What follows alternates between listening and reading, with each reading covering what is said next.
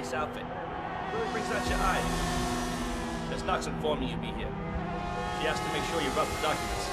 So, did you bring the documents? I have the papers right here. Excellent. Come on in. Have a seat or something. I'll let Miss Knox know you're here. So far, so good, 47. Now, let's see where this meeting is headed.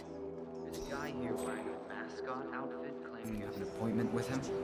Wouldn't give his name. Got it. I'll let him know you're on route. Hey, Flamingo guy. Miss Knox is on her way.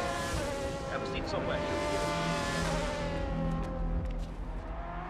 So, it's a great outfit. Thinking it must get pretty warm in here. It's insulated. Huh. Imagine that.